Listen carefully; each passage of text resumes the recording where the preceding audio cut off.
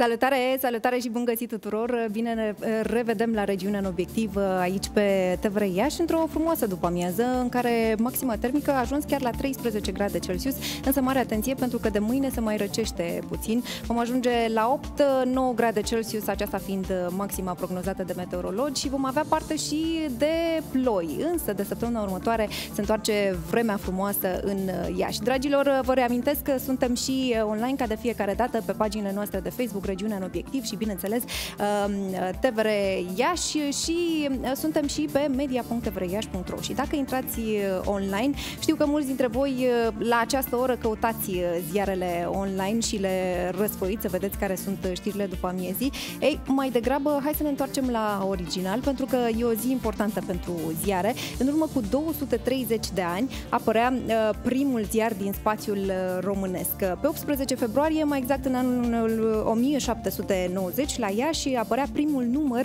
al periodicului de limba franceză, Curir de Moldavie, considerat a fi primul ziar din spațiul românesc. Deci astăzi ne întoarcem la original și la uh, tipărit și la foaia scrisă pentru că e o anumită senzație când uh, răsfoiești. Și dacă tot vorbeam uh, de ziare, e bine, haideți să intrăm repede și în uh, sumarul acestei ediții pentru că publicistul și bineînțeles scriitorul Mircea Radu Iacoban împlinește mâine mâine 80 de ani și nu se putea altfel decât să îl sărbătorim și noi aici la TVR Iași, fiind um, o persoană um, și o figură emblematică pentru cultura ieșeană și nu numai. Și tot astăzi vă facem recomandări de vacanță. Abia ce m-am întors din vacanță, dar totuși uh, sunt cu gândul acolo. O să vină alături de noi colega noastră Raluca Aftene și um, o să ne povestească, o să facem așa un battle între vacanțe. O să trecem de la rece la cald pentru dumneavoastră și dumneavoastră veți alege unde vreți, oricum sunt recomandări uh, frumoase.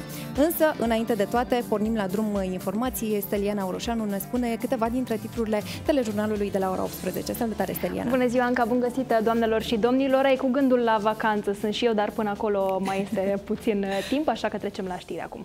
Sunt studenți, medici, IT-ști, au pregătiri și vârste diferite, însă cu toții sunt salvatori din pasiune. Este vorba despre cei peste 250 de voluntari aflați pe listele ISU Iași, oameni care ajută la salvarea de vieți fără a cere nimic în schimb, iar echipa se mărește în această perioadă când la Inspectoratul pentru Situații de Urgență Iași au loc noi recrutări de voluntari. Are la activ peste 500 de misiuni, însă nu este nici pompier, nici medic, nici asistent. Este consultant, însă profesia diferită nu l-a împiedicat să facă, cel puțin o dată pe lună, o gardă de 24 de ore la Inspectoratul pentru Situații de Urgență. A trecut prin multe situații limite la intervenții, însă asta l-a făcut să aprecieze și mai mult activitatea sa de voluntariat. Cătălin pare un tânăr ca oricare altul, însă îl diferențiază dorința de a ajuta. Înțelege lumea din jurul dumneavoastră de ce faceți asta?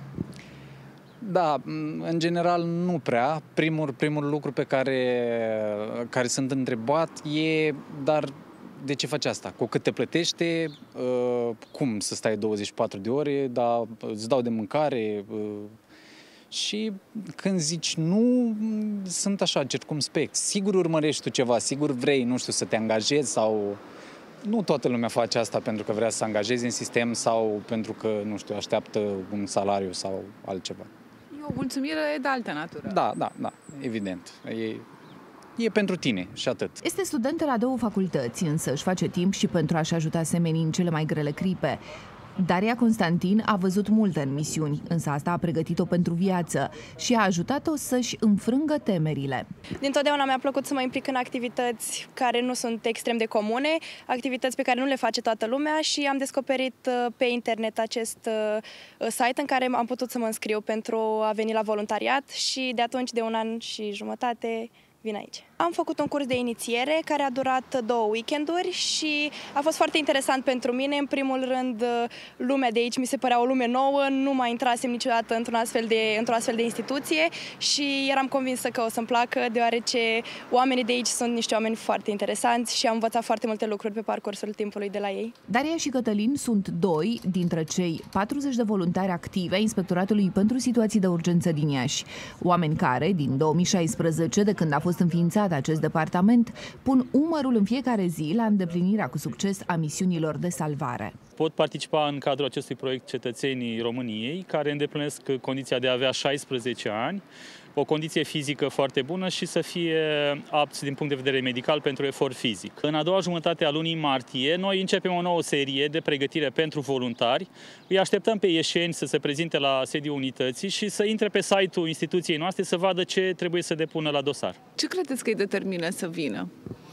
Cred că um, satisfacția salvării unei vieți uh, sunt uh, de un real folos, atât în intervențiile alături de salvatorii profesioniști, cât și în viața civilă, acolo unde nu puțin dintre ei s-au, uh, uh, s-a întâmplat să, să fie la locul unde este nevoie de acordare de prim ajutor și astfel să ajungă să salveze vieți. În luna martie, la inspectorat au loc noi recrutări de voluntari. Depinde de fiecare dintre noi să fim salvatori din pasiune.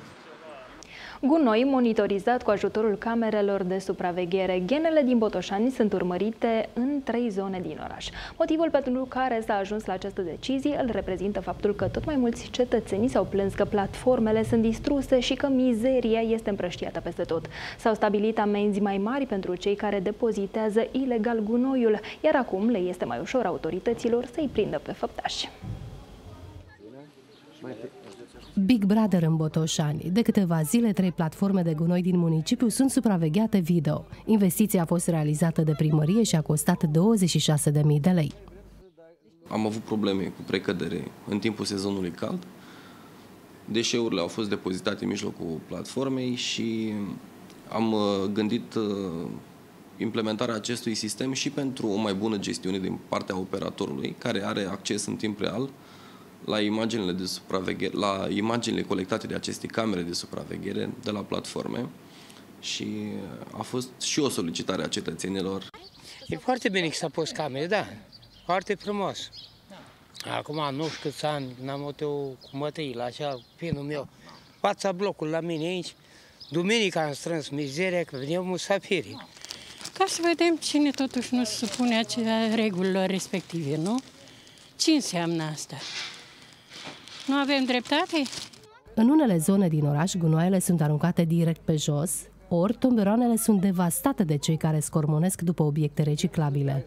Sunt uh, foarte mulți oameni ai străzii care le golesc și le duc spre centrele de colectare, uh, acea cantitate de plastic nemai ajungând la ținta uh, de îndeplinit a municipiului Botoșani, cât și raportat la gunoiul uh, menajer, uh, pentru că sunt foarte mulți cetățeni care nu au un spirit civic foarte dezvoltat și aruncă gunoiul uh, lângă tomberon. Camerele de supraveghere sunt alimentate cu energie solară. În funcție de bugetul din acest an, reprezentanții primăriei vor încerca să instaleze sisteme video și la alte platforme din municipiu. Acestea au fost informațiile pentru moment. Noi ne revedem la ora 18 la telejurnalul regional de la TVR Iași. Anca, înapoi la tine.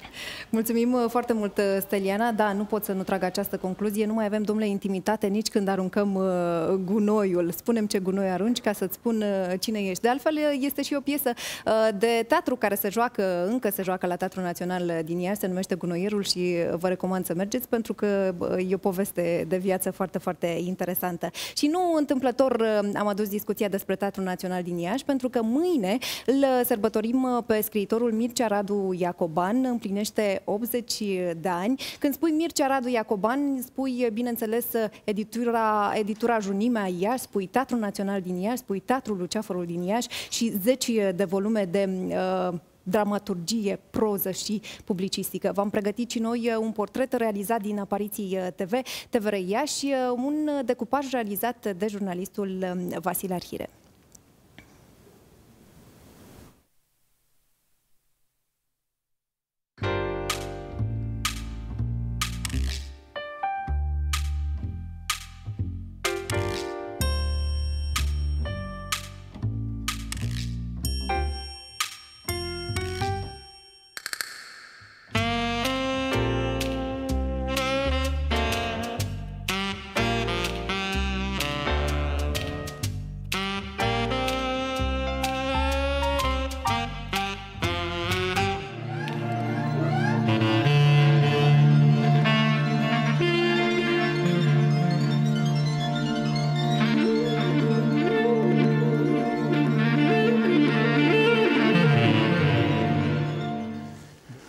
1956 eram paznic de noapte la un depozit de bușteni al întreprinderii forestiere Rădăuți.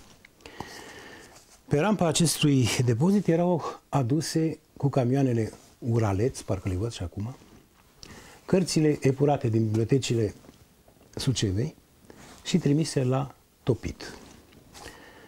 N-aș putea să vă spun care erau criteriile selecției. Știu că a fost o listă lungă, un volum întreg de titluri care trebuiau scoase din biblioteci, dar acestea care le luam, uh, erau în format mic, puteau să încapă în buzunarul pofoaicei, mi se par absolut uh, inocente. Antigona lui Sofocle, Tartarin din Tarascon, Bacalbașa, viața militară, Savoveanu, povești de sărbători.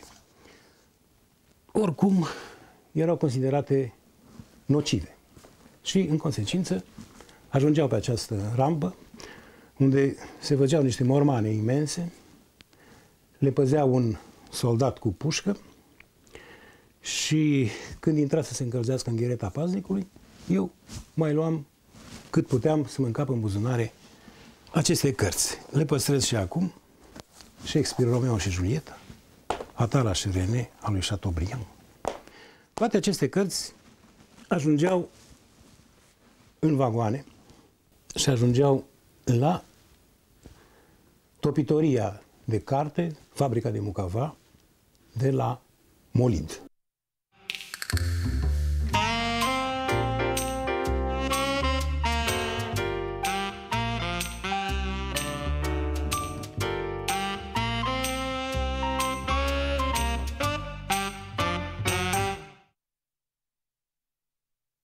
Sportul mi-a plăcut întotdeauna și regret că nu am putut să-l practic uh, consecvent și sistematic. Ați practicat sportul? Am jucat fotbal în echipa abatorului din Burdujeni. Spartac se numea și primeam la, la juniori. Și primeam la meci câștigat un salam și la meci nul o tobă. Și am ajuns să transmit uh, din străinătate meciurile echipei naționale, ale echipelor uh, noastre de club uh, și am prins cea mai proastă perioadă a fotbalului românesc. Din toate transmisiile mele, că sunt multe din străinătate, n-am avut parte nici măcar de o singură victorie, un singur meci nu la Cracovia, într-un meci amical de altfel, cu Titi Teaș ca antrenor și capacul a fost uh, în 1967 la Zurich, în Elveția, am transmis meciul Elveția-România 7 la 1. Și mi-am zis că hai să mă ocup de altceva.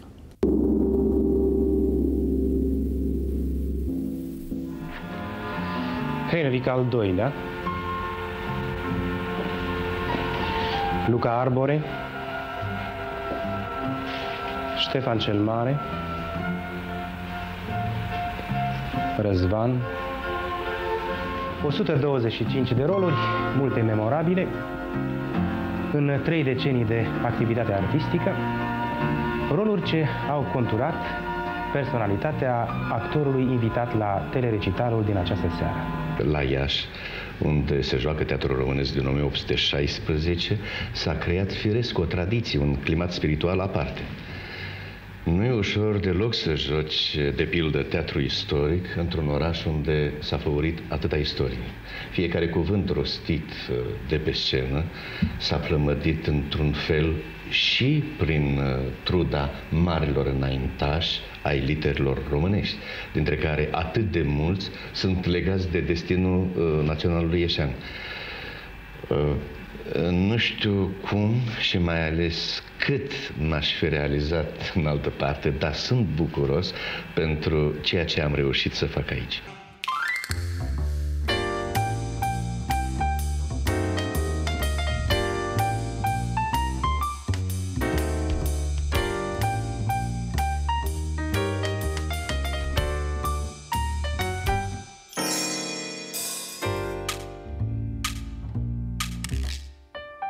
Ați dorit să faceți dramaturgie și poate e uh, copilul dumneavoastră de suflet, al preocupărilor dumneavoastră de suflet. Așa este, de altfel mi-a adus și cele mai mari satisfacții uh, dramaturgia. Uh, eu știu, premiul Academiei Române, premii ale unui scritorilor din România și din Basarabia. și constat acum că oricare dintre piesele mele scrise în urmă cu 10, cu 15, cu 20 de ani, se poate juca fără să se schimbe o virgulă.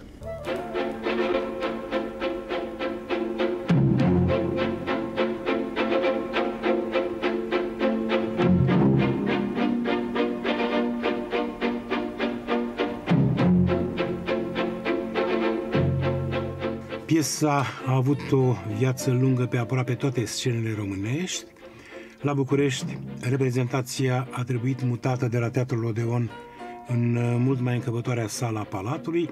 S-a jucat și pe scenele unor mari teatre din străinătate, cum ar fi Teatrul Național German din Weimar, unde a ținut afișul două stagiuni încheiate.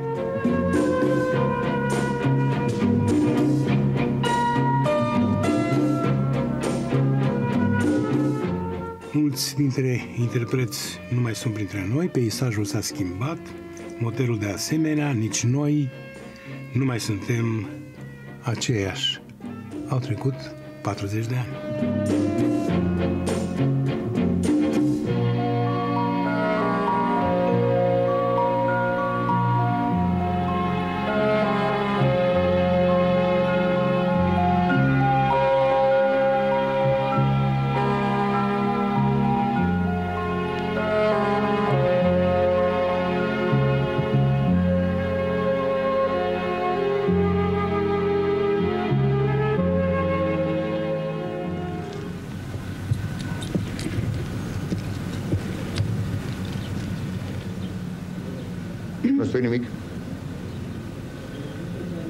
S-a filmat uh, spectacolul cu piesa Sâmbătă la Veritas, despre care Florin Mircea are câteva date. Da, tot într-un februarie, dar 1974, uh, a avut loc la teatru prima lectură cu piesa Sâmbătă la Veritas a lui Mircea Radu Iacoban. După nicio lună de zile, pe 15 martie, a avut loc premiera. Un spectacol care s-a jucat, s-a jucat bine pe scena teatrului, pe scena teatrelor, pentru că a făcut foarte multe deplasări, foarte multe turnee cu ea. Am uh, jucat 99 de spectacole până în 11 octombrie 1981.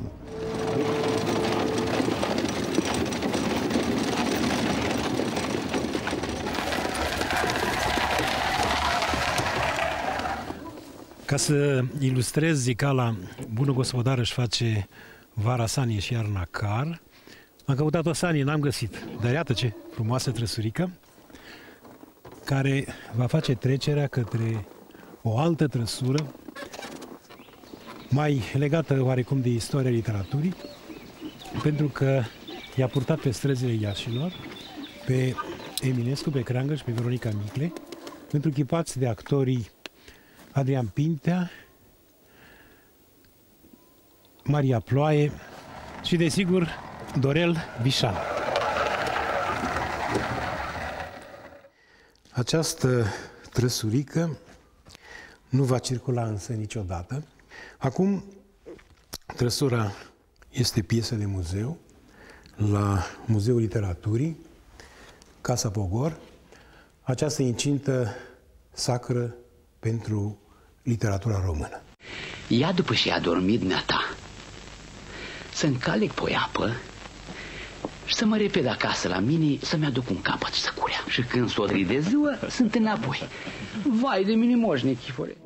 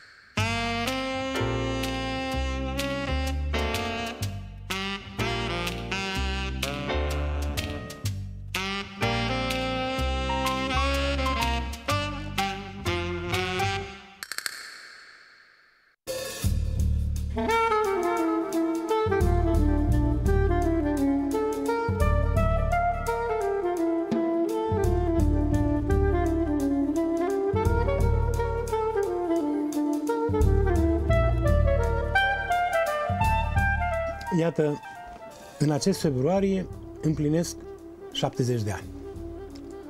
Nu știu cum de s-a întâmplat, probabil că n-am fost suficient de atent. Cu ce să vin la o asemenea aniversare decât tot cu cărți? Iată două proaspete, o carte de eseuri, printre cărți se intitulează, și a doua este un uh, sine roman, Pompe funebre. Nici o legătură între modul în care lucram cu tipografiile odinioară, când uh, cartea culeasă în literă de plumb cântărea pagină cu pagină și se ajungea pe la jumătate de tonă, iar procesul tipografic dura cel puțin 3-4 săptămâni și tiparul de acum, când duci CD-ul la tipografie și în câteva minute primești cartea tipărită, ceea ce este foarte bine, dar poate deveni și îngrijorător, pentru că trezește un uh, apetit, un mare apetit pentru carte și celor chemați și celor cu mai puțină chemare. O evoluție se produce, de scris se scrie, de publicat se publică, foarte multe cărți, foarte multă carte. Târgurile de carte sunt uh, pur și simplu, nici nu mai vezi standurile din cauza mulțimii coperților colorate. Se tipărește mult în tiraje mici. Când lucram la Junimea, am tipărit carte și în 120.000 de exemplare. Faceți comparația, 200 de exemplare cu 120.000 de exemplare. Poezie pe Nikita Sărescu în 35.000 de exemplare. Poezie Marin Sorescu în 32.000 de exemplare. Tot la Junimea vom uh, aniversa un, uh, un fapt care e cam singular în cultura română. Iată, există o colecție înființată acum 50 de ani, intitulată Eminesciana, care ajunge acum la numărul 100. 100 de titluri, vă dați seama, este un monument de hârtie, dar monument uh, închinat uh, poetului. Ah, băieți? Da. Peste 10 ani sau poate chiar mai devreme să ne... Peste 10 ani! Avem un părere de șampanie. Da. Și altă dată o să facem și mai și mai dată. Altă dată,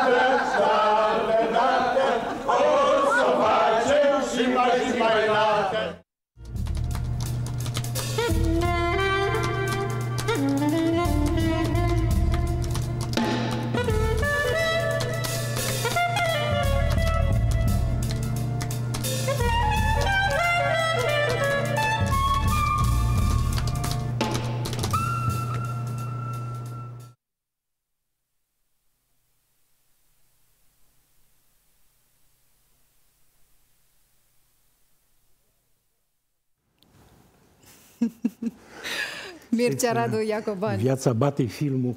Ce n-aș da să împlinesc 70 de ani cum... Dar nu Asta, sunt vă spuneam, 70. asta vă spuneam uh, în timp ce vizionam filmul, nu v-ați schimbat. Chiar nu v-ați schimbat Dar și nu pe vă spun de dinăuntru. complezență. Am furat uh, startul. La mulți ani, Mircea Radu Iacoban. Mulțumesc foarte mult. M-a emoționat uh, acest crochiu. Da, am 80 de ani. Uh, Să mă rog, mai am câteva ore până atunci. Zilele trecute, în tramvai, mi s-a întâmplat un lucru foarte ciudat. O fătucă îmi făcea niște semne și nu înțelegeam ce vrea. Ea vrea să-mi cedeze locul. Ceea ce mi s-a întâmplat. Eu cedam locul. Asta înseamnă că nu numai am împlinit 80 de ani, dar se vede, se simte și se percepe ca atare. Eu am fost mereu cel mai tânăr. Am fost cel mai tânăr director de editură, cel mai tânăr director de teatru național și tot așa înainte. Ei, s-a terminat. E o vorbă care circulă acum printre actori, îți dai seama că ai îmbătrânit când faci reclame la medicamente. Stau la farmacii, la, la televizor. Da. Însă momente foarte frumoase. Întregul uh, crochiu și montaj îl putem vedea mâine la Ateneul Național din Iași de la ora 17 în sala Radu Beligan. Cum a fost? Cum a fost să, să priviți toate aceste momente? Să... Ei, ce să mai vreau? Se spune că tinerii au proiecte, iar bătrânii au amintiri. Da, amintiri sunt și tot sunt. Unele din ele le-am Înglobat între aceste coperți, ale cărților care au apărut acum, acestea două se vor uh, lansa mâine la Ateneul Național uh, Iași. Este vorba de volumul al doilea din uh, jurnalul meu, are vreo 700 de pagini. Primul volum s-a lansat în 2015, acesta al continuă și poate, eu știu, va urma și un al treilea. O altă carte, am, amândouă sunt apărute la junimea, se intitulează I-am zărit printre cuvinte și este vorba de 100 de, nu le-aș zice portrete, schițe de portret, tot în baza amintirilor, ale persoanelor, personajelor care au, care au fost cândva și de care am, m-am apropiat într-un moment sau celălalt. În fine, aceasta se va lansa mai târziu. Este o carte cu care m-a onorat editura Carte Românească Educațional. La 80 de ani din neatenție? Da, din neatenție. Așa cred că am ajuns la 80 de ani, pentru că n-am fost destul de atent. Da. Foarte multe condee de prestigiu, personalități cunoscute în literele, ale literelor române, au texte aici. Era să zic că e o carte omagială, nu, e o carte aniversară. Și atât. Dar dacă ar fi să, să vă întoarceți în timp uh, și să stați de vorbă cu Mircea Radu Iacoban, tânărul de la 20-20 și puțin de ani, uh, înainte de a lansa Estudiantina, ce ați spune? Hai să vă spun cum a fost cu, cu, cu lansarea studenței. Da. Nu, nu, nu s-a lansat niciodată nicăieri. E, eram student destul de amărât. Am trimis manuscrisul prin poștă la editura pentru literatură din București. Nu existau alte edituri atunci. Și peste câteva luni, trecând prin fața librăriei Junimea, am avut surpriza să văd uh, în vitrină o carte care se numea Estudiantina, semnată de Mircea Radu Iacoban. Costa 3 lei și nu aveam 3 lei. Ei, m-am învârtit în jurul vitrinei să aștept să văd un, un coleg, un cunoscut care să mă crediteze cu cei 3 lei. Se însera, se apropia ora închiderii, nici mai vedeam literele. Când întâmplarea a făcut să vine să treacă pe acolo Dan Mănucă, nu mai este printre noi, m-a creditat cu cei 3 lei, mi-a cumpărat cartea. Nu știu, acum mă gândesc dacă i-am înapoi de vreodată bani. da. Cam Ce sfat i-ați dat tânărului de atunci? Că era cât pe ce să, să deveniți medic. Da. N-am devenit medic din cauza că pe atunci se dea la admitere examen la limba română. Și am căzut cu nota 1 la limba română. Nu cred. După aia am dus la filologie și am fost printre primii. Dar ce subiect v-a dat de... de... Subiectul meu preferat. Uh, realismul lui Liviu Rebreanu. Scrisesem și câteva articole pe această temă, dar nu m-am scris ca în manual. N-ați, n-ați dat uh, copy-paste? Cum... N-am scris ca în manual. Acolo era un, un barem. Trebuia să scriu așa cum, cum scria manual. Eu aveam idei pe atunci. M-am mai liniștit între timp.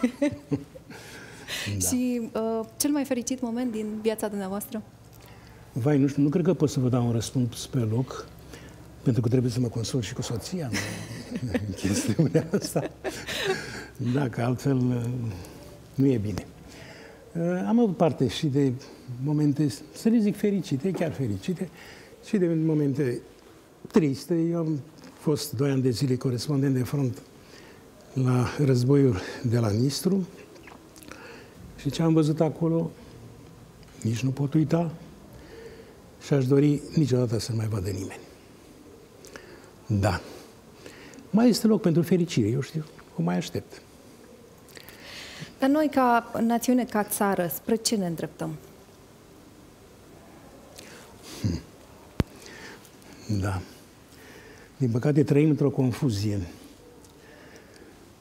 nu numai că lipsește acel proiect de țară și nu știu de ce întârzi atât, că mai avea câteva criterii foarte ferme și obiective de, de atins, de, de luptat, de muncit pentru atingerea lor, ne cam măcinăm în dispute mărunte și marile gânduri pentru această țară, pe care eu iubesc foarte mult și respect foarte mult.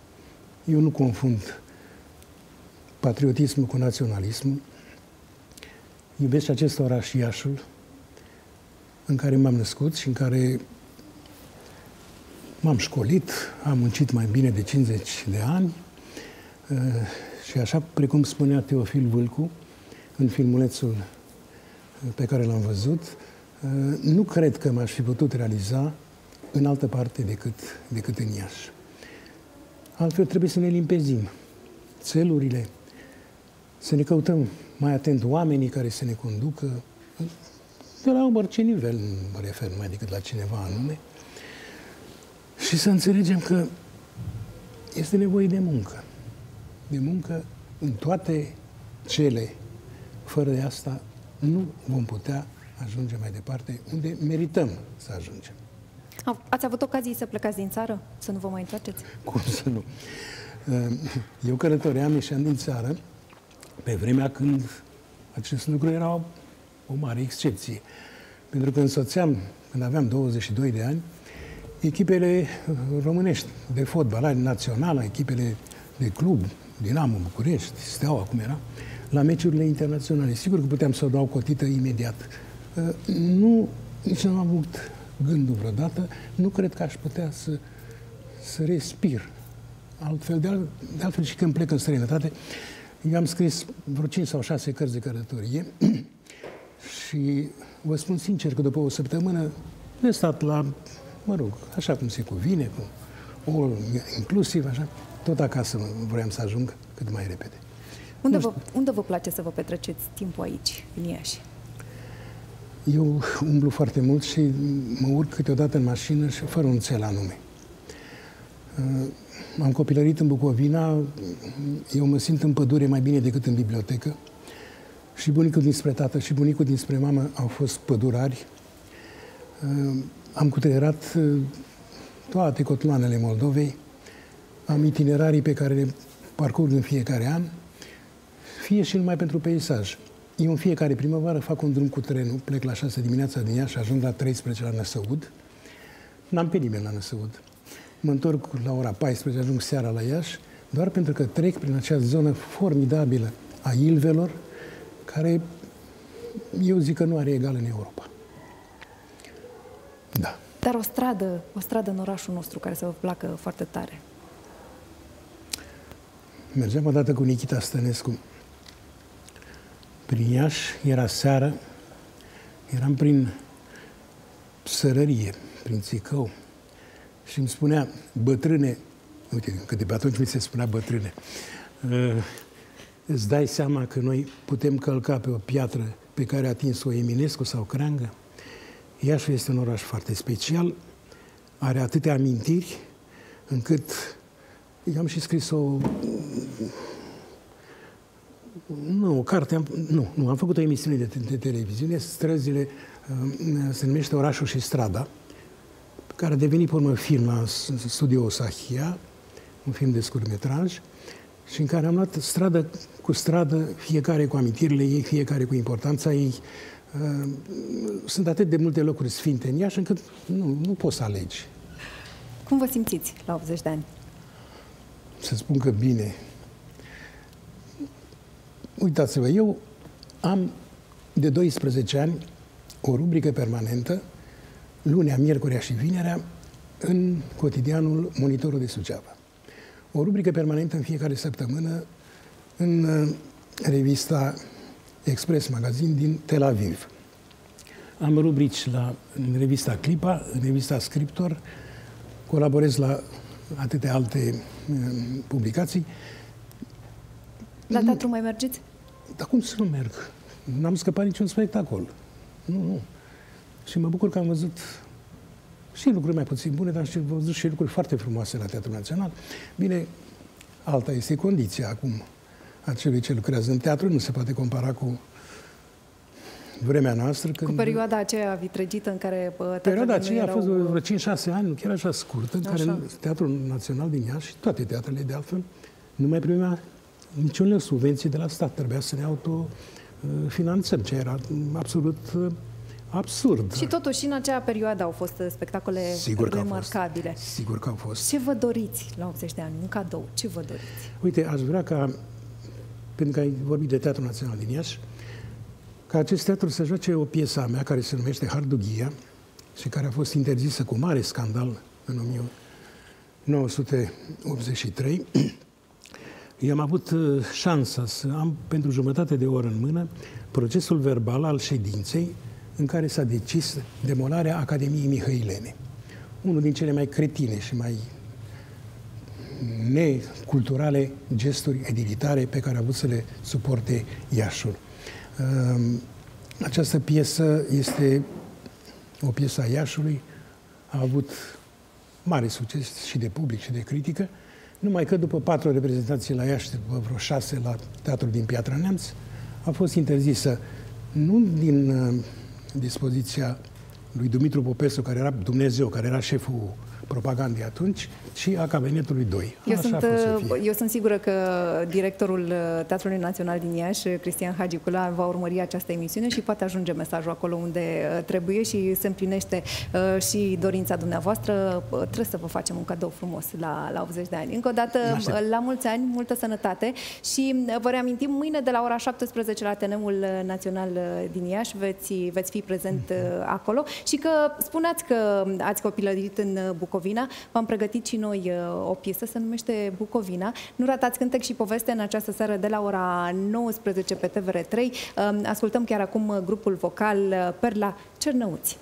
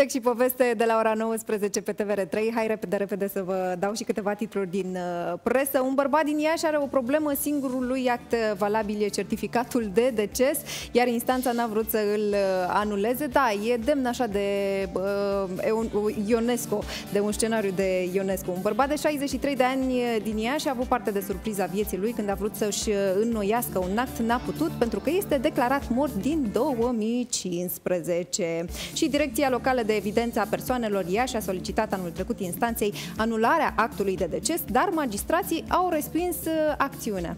Ce frumos, măcar n-ai datorii la stat, că oricum cât trăiești trebuie să plătești, asta e deviza. Și uh, au adus zăpadă cu elicopterul ca să țină deschis o stațiune uh, de schi. Temperaturile neașteptat de ridicate au determinat autoritățile dintr-o stațiune franceză de schi să apeleze la un um, elicopter pentru a aduce zăpadă naturală pentru pârtii și uh, suma era de 5.000 de euro, dacă nu mă înșel eu, sper să mai găsesc uh, acel uh, paragraf, 5.000 de euro pentru câteva tone de uh, zăpadă. Eu sunt tare curioasă să știu dacă uh, colega noastră Raluca Aftene a avut uh, zăpadă pentru că a fost la munte. Salutare! Bună! Salutare! Vă fac o mărturisire. De când m-am întors, n-am apucat să stăm de vorbă și să povestim, mai ales că Raluca e colega mea de, de birou în redacție. Colega și... de bancă, așa da. noi.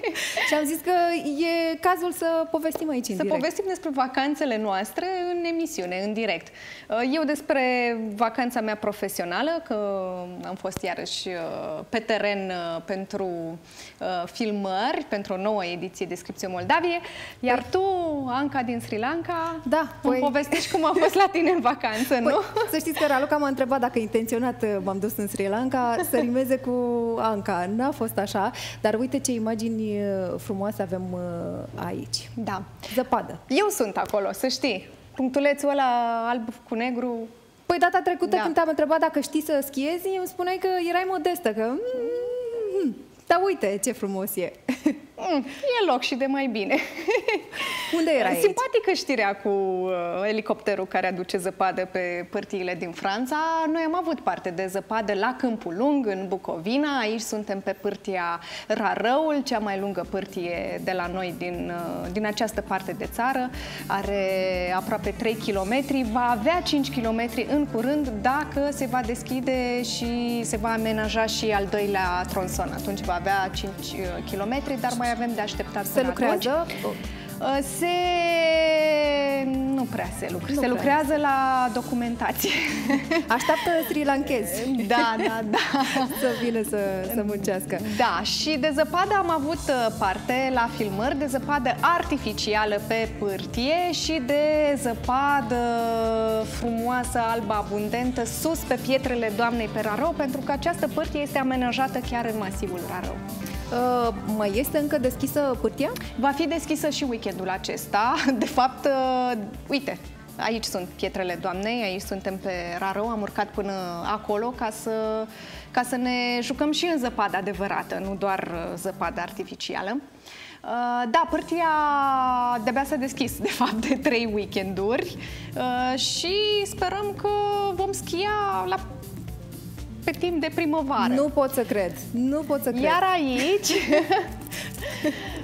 Iar aici testez cea mai lungă tiroliană din România. Se află în pasul Ciumârna, la 30 de kilometri de Câmpul Lung. Locul e cunoscut și sub numele de Palma, la Palma, pentru că e un monument acolo. Da, asta a fost cu tiroliana. Am spus că e cea mai, cea mai lungă și cea mai spectaculoasă din țară și ne-am jucat puțin și cu ATV-urile. Îl vedem și pe uh, solo... Pe ghidul meu, da. ghidul perfect. Dacă Ghidul perfect și uh, un neobosit uh, promotor al uh, Bucovinei, Bucovinei, un om care face de toate, uh, dar care s-a hotărât din dragoste pentru colțișorul ăsta de țară în care s-a născut Bucovina și din dragoste pentru natură și pentru sporturile sporturile astea mai cu adrenalină, să, să le promoveze pe toate la un loc, la pachet, pe o platformă de socializare. Pagina lui se numește Bucovina Te Iubesc, are foarte, foarte multe vizualizări, probabil că ați, ați aflat deja de ea. Uh, erau și acolo, acolo puteți să vedeți filmulețe și imagini ca acestea. Erau turiști? Erau, erau foarte mulți uh, turiști uh, și mai mulți turiști au fost cu un uh, weekend înainte când acolo pe pârtea Rarăul a avut loc un eveniment foarte reușit, Bucovina Fest, care a însemnat distracție pe pârtie ziua și distracție la Hai concert. să vedem și noi reportajul. Seara.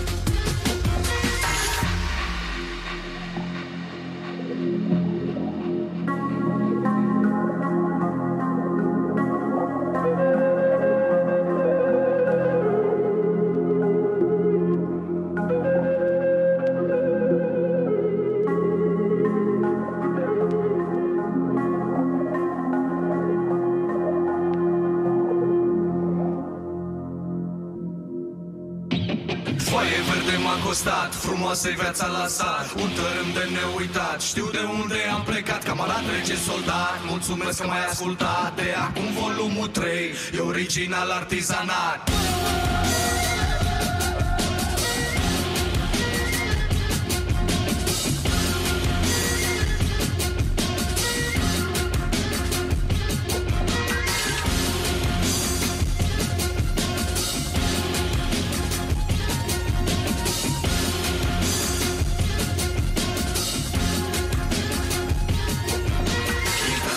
studio.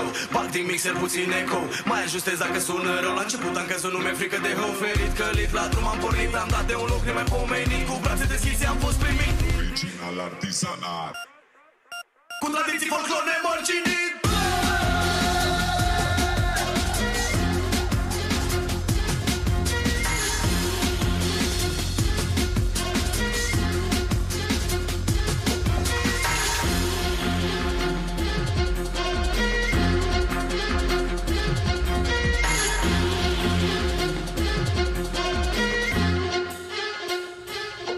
cazul în care vă întrebați ce cu piesa asta aritmată, Argatu, un artist foarte interesant de ascultat, a fost uh, invitat la Câmpul Lung, la Bucovina Fest.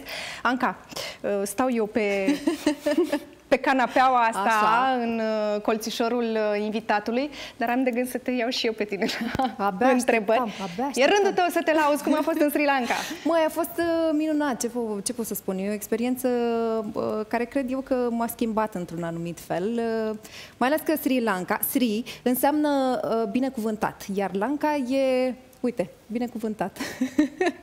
mm. cu creveți. Iar Lanca e denumirea veche a insulei. Deci am fost într-un loc binecuvântat în care la o distanță de câteva ore treci de la safari și de la elefanți în mediul lor natural la văzut balene, de la plaje idilice la uh, Știi munți. că te-am întrebat și în redacție, cum e mare acolo?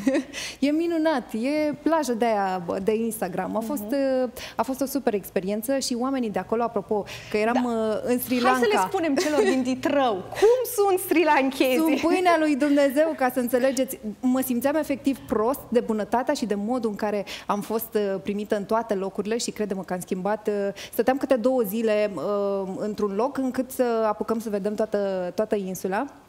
Și am schimbat Fericire foarte multe... scrie pe chipul tău. da, am schimbat foarte multe cazări. Uh, m-au întrebat oamenii dacă m-am relaxat. Nu chiar m-am relaxat, pentru că în fiecare zi ori eram pe munte, ori trebuia să fac un traseu. Mi-am dorit foarte tare să văd insula asta. E superbă. E, are influență și din India și în astea două săptămâni ne-am închiriat tuk-tuk E mașina de familie a sri lankezilor uh, fără portiere uh, și am avut parte de o experiență autentică sri lankeză. Se vede acolo în poza asta, în spate, se vede prietenul meu cu, era cu, cu tuk-tuk-ul. Am fost și la piață, pentru că voiam să vedem efectiv uh, atmosfera și vreau să vă spun că un kilogram de ton proaspăt costă în banii noștri 20 de lei.